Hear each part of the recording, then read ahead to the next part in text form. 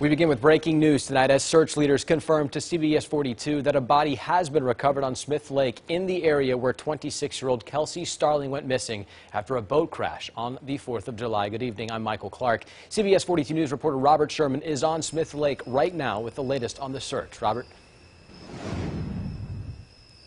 Good evening, Michael. This afternoon, search crews confirmed to us that a body was visually confirmed beneath the surface in the area where Kelsey Starling went missing with the use of underwater cameras. Just moments ago, we had new additional information confirmed that a body was recovered from that area and brought back to shore. But, Michael, for the search crews that have been picking up this effort since Independence Day, it's been a long road with ample challenges.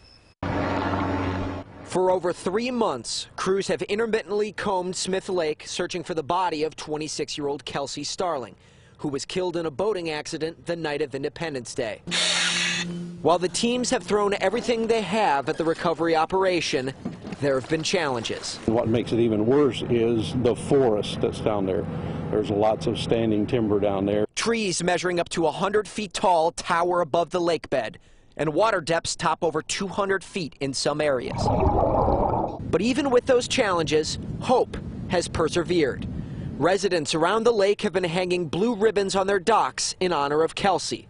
The community pitched in to purchase a brand new remotely operated vehicle to aid the search operation. And members of the search team, like Ashton Davis with Houston County Search and Rescue, who went to high school with Kelsey, have refused to give up. We want to bring Kelsey home to her family. Uh, this is not where she's going to stay forever. And finally, over three months later, a body has been located in the area where Kelsey first went missing.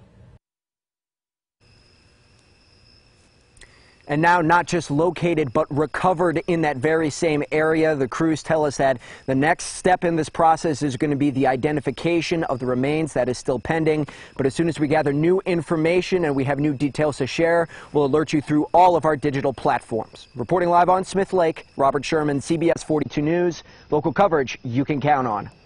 Robert, thank you. We've been covering this story since July. For more information, including exclusive sit-downs with Kelsey Starling's family, just visit our website, cbs42.com. You can search Kelsey Starling.